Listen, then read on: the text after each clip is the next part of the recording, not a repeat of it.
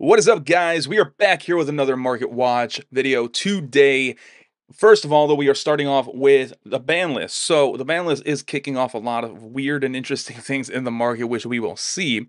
But in case you didn't know, here is the ban list. It was released, or went effective at least, I should say, two days ago, April 15. You guys can check this uh, in the website. The links are in this this in the description. Make sure make sure you bookmark the website website is fast, clean. I mean, there's uh, awesome suggestions. Look at how fast everything loads. There's no ads. I'm not tracking you and all that good stuff. Anyway, so back to this ban list, right? Baronne de Fleur got hit, which yeah, I'm not going to talk too much about the ban list, but what I do want to say is Konami banning Baronne gave Konami an out on actually taking um responsibility, if you will, on creating really broken archetypes that do not lock into their respective archetypes, essentially, right? So kind of sucks, but it, it, that is the trend that we're going to always see that the generic cards will be getting hit over the overpowered or overtuned uh, archetypes. Like, I, I don't want to say Sword Soul, but Sword Souls don't really lock you. There's not that many, there's, there's not that uh, harsh restrictions on swords. So like it locks you into wyrm monsters in, in certain cases. Whoop de doo. There's a lot of good wyrm monsters, right? Another another archetype, Kashtira, does not lock you into any archetype. Uh, for the most part, actually, yeah, it doesn't lock you into Kashtira monsters which enabled you to use Diablos, and then Diablos got hit. You, so you guys know, I think you guys know what I'm talking about. I don't want to stress too much about this. The other thing is that Linkuriboh and Thunder Dragon Colossus got banned and then unbanned, respectively. So let's see what that's doing to the market. Actually, before that, let's do Speed Duel Tournament, uh, not Tournament Pack. I got tournament packs in the in the brain, guys. If you guys haven't seen my latest video, check it out. Uh, we opened up Speed Duel Tournament Pack 5 which is a pretty decent tournament pack. Anyway, so Speed, Duel GX, Midterm Destruction mini box. A lot of really, really good choices by Konami. They're not all heroes, and they're not all necessarily just like. Uh, actually, most of them did get released in the GX era, except MST, I think. And Babycerasaurus might have not been in the GX era. Although I'm, I'm, I don't know, maybe he was. But holy shit, these cards are amazing. In particular, Elemental Hero Prisma, because this card can fit so many decks, not just hero monsters. Yes, it works really well with Rainbow Neo. So if you guys don't know, Prisma is like a special fusion substitute card where it actually takes the name of a specific card, which uh, gets gets uh, by a lot of the restrictions imposed on fusion substitute monsters. So for example, when you're trying to summon Rainbow Neos, you cannot use a fusion substitute monster like Hex, fusion, uh, hex light fusion, or whatever the hell the card is, uh, because it specifically says that you need a, an ultimate crystal monster. Since that rock is not an ultimate crystal monster, you cannot use it, right? But with Elemental Hero Prisma, it actually takes the name of the card that that you're trying to use as a fusion material. So it works in Rainbow Neo with Rainbow Neos. It works with Yubel very well, actually. You, a, a, lot of Yubel decks should probably use this, especially if you're going to be mixing Yubel with heroes, which is really easy to do because we got my boy Klugs, which is an elemental hero Yubel card. Nah, I mean, anyways, also in Gate Guardian, it's a really good card. People were using it as a tech card. Now it's a really nice Seeker rare. I don't know, man. I'm eyeing this. If it goes down to like three bucks, I would say invest heavily on it, but I don't know if that's going to ever be the case because there's already 21 listings, and that is pretty crazy. Anyways, I feel like Elemental Hero Neos buying this, even at a dollar, is a no go because you can actually get this as a quarter century rare for about the same price. Like if if it's not a dollar, it's like within two dollars, right? So I would say skip buying Neos and uh, from this set and buy it as a quarter century rare from the 2023 tins. And yeah, so besides that, Fossil Dyna is probably gonna be money relatively soon because of course if you guys don't know you can play these in both the speed duel and the tcg formats so if you want like a really cool although this is going to get, get reprinted as well because we are getting a new uh printing of light of destruction so hmm you know, it's it's iffy. I would still say this card is probably going to go up a little bit in value in the long term because we're still in the speed duel world, right? Like, it, it, there's not a lot of cards that have been printed in Speed Duel even now. So the fact that there's I think two copies, this one and the common one, if I'm not mistaken, then it just it just means that I wonder if there's like an easy way to search that actually. So it just means that there's going to be less availability in the speed duel world. So it's definitely gonna it's definitely worth investing. I feel like Baby Saurus is probably not like it'll probably go up a little bit in the short term, but in the long term, I don't think so because there's not that many Dino decks that are out there that I remember seeing in Speed Duel. So I don't know, man, but definitely that and Miracle Fusion is definitely worth investing and taking an eye on. Anyway, so Ma- Magnificent Mavens, oh my god, this set is crazy. So I was correct. The, the, the other the next buyout. So the the we had buyouts on I think Sky Strikers we had buyouts on some other cards, and then I said, you know what, the next buyout is going to be Sword Souls because that's just what the trends were saying, baby. And I look at trends, that's what I do, and I was correct. Sword Souls are going up in value. The uh, Sword Soul Emergence, I think, was a five dollar card and not that long ago.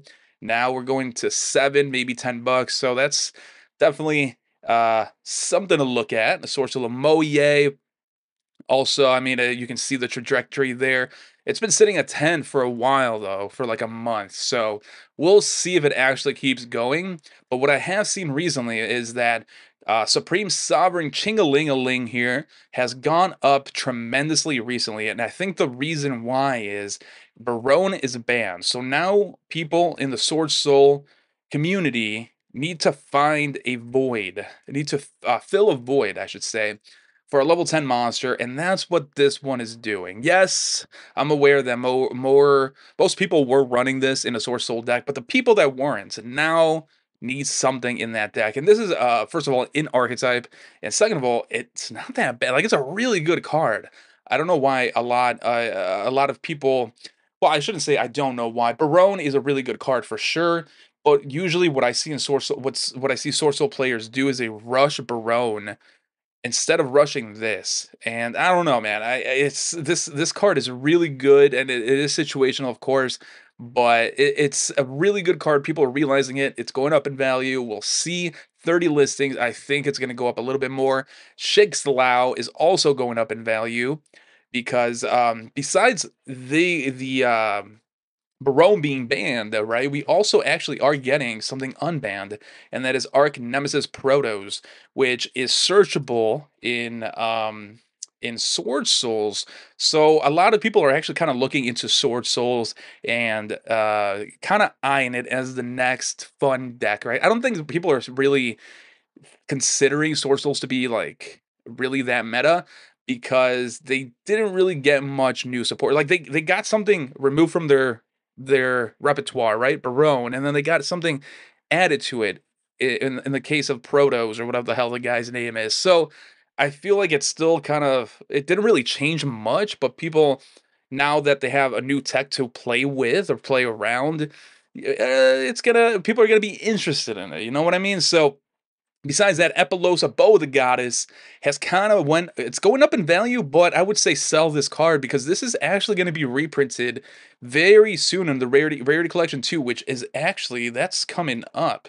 Rarity Collection 2 is coming up May 24th, guys. So get rid of any any Apollousas that you have, especially from this one, it makes make a cool eight bucks. That That's just easy money. Skill Drain, I did see go up in value slightly after the ban list, and I believe the reason why is because Skill Drain was banned, or Summon Limit was banned, I should say. So people are looking for another way to um, hold the floodgates, to preserve the floodgates, whatever. Insert cool, witty floodgate mer- metaphor there. Infinite Impermanence, I mean, it's been trucking along. It has been printed to death, actually, but people, I mean, it's a good card. A good card is a good card is a good card. And yeah, five bucks. It's probably going to go up a little bit more unless it gets printed again, which uh, I, I wouldn't doubt Konami printing it again, to be honest, because they're kind of done with it, right? They've they've held off on printing it for so long, and now it's just like print it to death. Who the fuck cares at this point? Um, what else is here? Pharaoh Rares. Holy shit, man. Secret Rare Blue Eyes White Dragon uh, Pharaoh Rare. $450. People bought this out. uh relatively recent because there were like at least five listings last time I saw it and then the ultra rare if you have a cool two two stacks bro that's uh that it could be yours for two thousand dollars. Don't get it though. Please just do not get it. It's, it's not worth that much money. But I was calling this out for quite a while. Pharaoh rares are just that rarity. A lot of I've seen some YouTubers saying like, "Oh, Pharaoh rares suck," and no, my good sir, you suck. I'm just kidding. But I mean, come on, Pharaoh Rares are just really fun. They harken back to the DM era. They're very obscure, very rare. So of course they're gonna do well long term. Like it just didn't make sense why people were trashing it. You know, you know what I mean? Um, especially with how how scarce it is. Like there's only two products got this, and what is it like thirty cards in total? Thirty different cards, if that were printed in this rarity. It's just eh, common sense. But uh, let's see. Besides that, let's move on. Relinquished anima. Holy shit! So because my boy Linkuriboh was banned or got banned. We have we have a, a void in the Link One department, especially for level one monster support, and that is my boy Relinquished Anima. I have been talking about this card for days, for weeks, for months on Twitter. I have been tracking this for so long. It's been sitting at five bucks for the longest time. As soon as the ban list hit, what bam, ten bucks. Boy, I better pay you up. This card is pretty decent, but I would say um, I don't think it's gonna get printed anytime soon. A.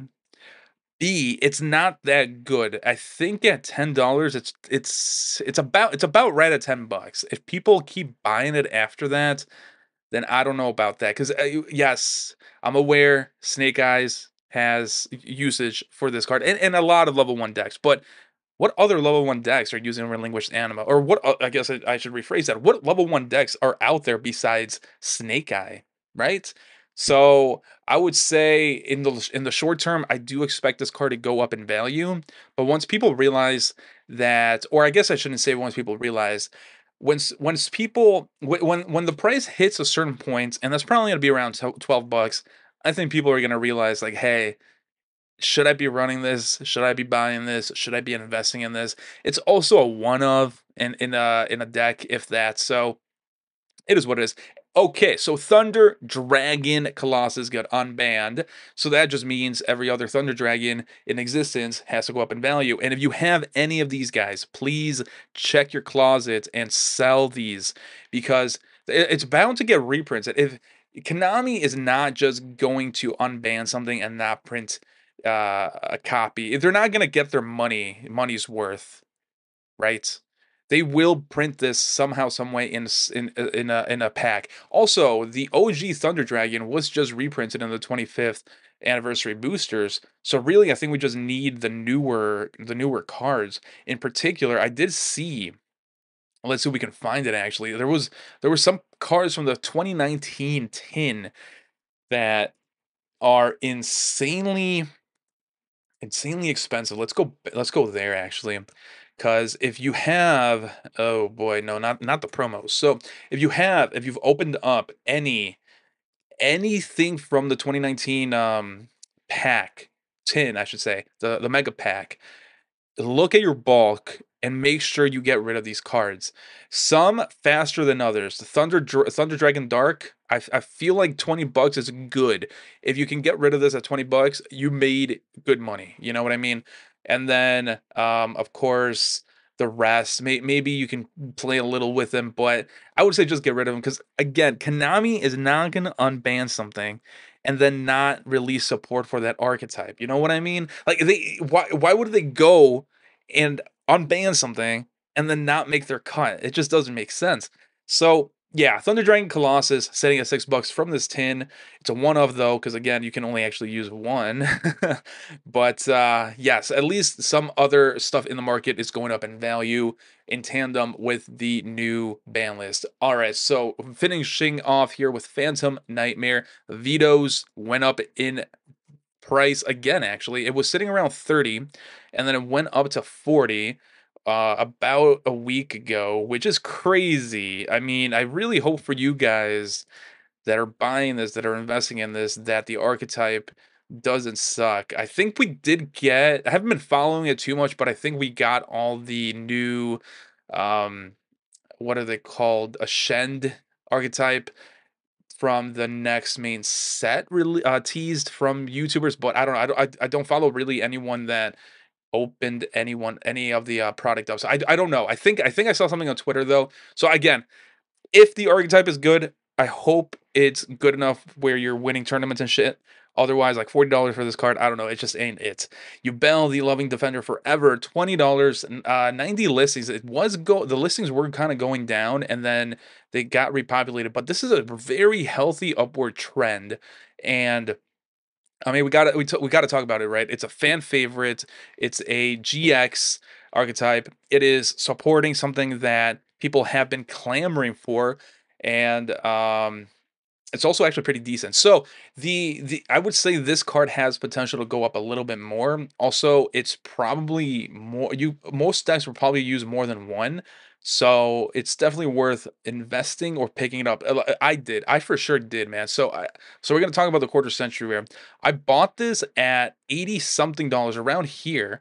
And look at that beautiful traje- trajectory, man. I I saw this card and I saw and I thought, hey, I know the GX fanboys are not going to let this this pass and thank God I did because it just doubled in price and I do think it could go up a little bit more especially if we see some tournaments uh, uh some Yubel decks hitting the tournament scene. Also, we are getting more Yubel support in the next main set and in the I guess in the uh, Battle of Legends. We have it. We don't know for sure, but there is new Yubel support that was released in the OCG. We just don't know when we're getting into the TCG it's most likely going to be in Brothers of Legend because that's usually what happens. But if not, hopefully relatively soon. And it's another fusion card which will help out um, in Yubel decks. So yeah, invest in this. I would say for sure. Lo actually went down. Shorty got low, low, low for show because it's yeah going downhill.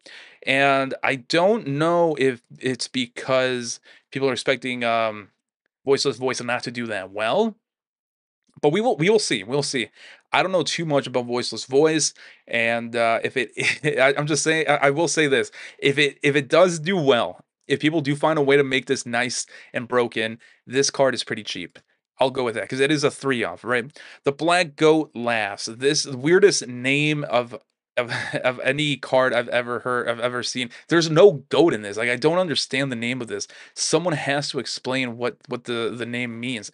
Anyway, so this card has kind of seen a run up. It actually was cheaper at a point than, than what this is alluding to. I think it was like a $5 card, like around this time frame. And now it's sitting around 13 bucks it's a pretty decent card. So we'll, read it. Declare one monster card name. This turn, neither player can special summon monsters with that original name except from the graveyard. You can banish this card from your graveyard, then de- declare one monster name. This turn, neither player can activate the effects of monsters on the field with the original name, and then you can only use it once per turn. This card is really good.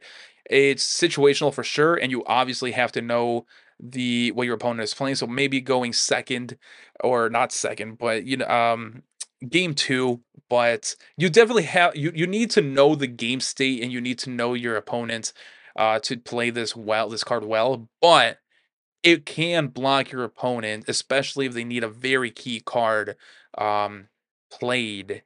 I'm, I'm thinking Snake Eyes in this actually, so it's a pretty pretty pretty decent card to counter a very small subset of decks, I would say, but it's the payoff is actually pretty decent. Like you can actually win a game with this if your opponent just cannot do anything because you block them from their extender or whatever the, the case may be, right? But yeah, 12 bucks is a little bit cheap.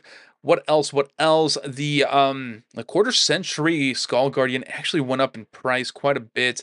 The the listings disappeared for a while and people were I actually listed mine for like 300 bucks trying to sell it, man. But you know, people relisted it, unfortunately. But we'll we'll see. I don't know. It, it, this one all depends on what Voiceless Voice do, does, obviously. But I've also seen a lot of people say that they like this artwork. So I don't know. I, I'm kind of torn on this. I do think like 163 dollars is a little bit high, especially if if um Voiceless Voice just isn't doing anything in the tournaments. Yes, collectors are crazy. Yes, people will buy it because it's a collector piece, whatever, whatever. I still think it's a little too expensive or just hitting that the point where it's getting too expensive uh, for people to be paying $163 for the quarter century, in my opinion. Anyway, so I guess we'll end it here with Magispector Orthrus because it's seeing a slight spike. So 40, 49 listings. What's what's happening here? It's uh, it's definitely interesting. I, I don't know exactly what people are are uh, doing with this card, but the the fact that we're we're getting a little bit of a, a spikeage and the listings are disappearing kind of makes me think that it's gonna go up a little bit more. Um, but yeah, we we will see. Anyways, uh, what do you guys think about the ban list first of all, and then second uh second of all, what is what are you guys looking at uh, in the market? Because I want to know. There's a lot of crazy stuff. I actually didn't fit everything that I want to talk about in this market watch. So you if you guys don't know, I actually sell cards. And the past week after the ban list was announced, I had a surge of of people buying stuff that I haven't really seen in quite a while. And that is pretty healthy. So in all in all, I, I do think I'm critical about the ban list, but the ban list really did make the game a little bit healthier, at least in the market sense. Anyways, that's all I got. Catch you guys in the next one.